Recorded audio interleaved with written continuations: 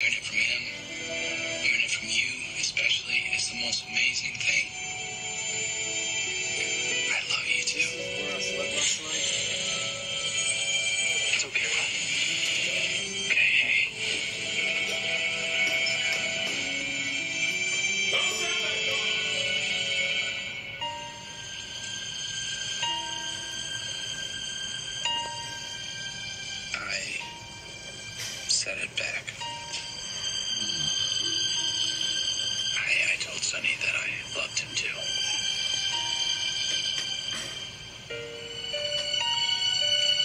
This is good. This is, this is progress.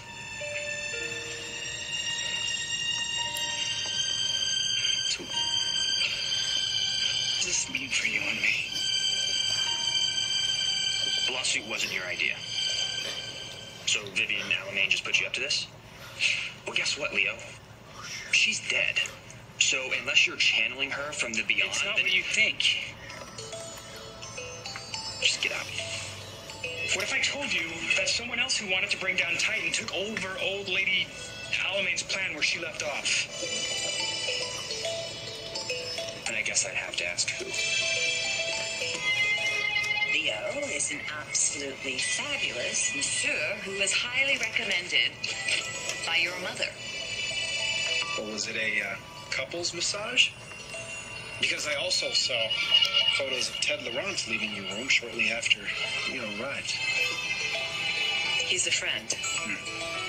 Who, who just happens to be representing Leo in the sexual harassment case against Titan. Well, look at you, connecting the dots. So is that the big reveal here? That you're going to expose me? Because there's nothing there, Stefan. This is just a case of he said, he said. That's all there is. And after Mr. Stark gets his money, he's going to disappear. And no one is going to give a damn about whatever insults? Just an observation. Well, here's an observation. You suing Brady for full custody of Tate is just plain stupid. But then again, you know what? You can't fix stupid, can you? I don't want you back on. Yes, buddy? JJ.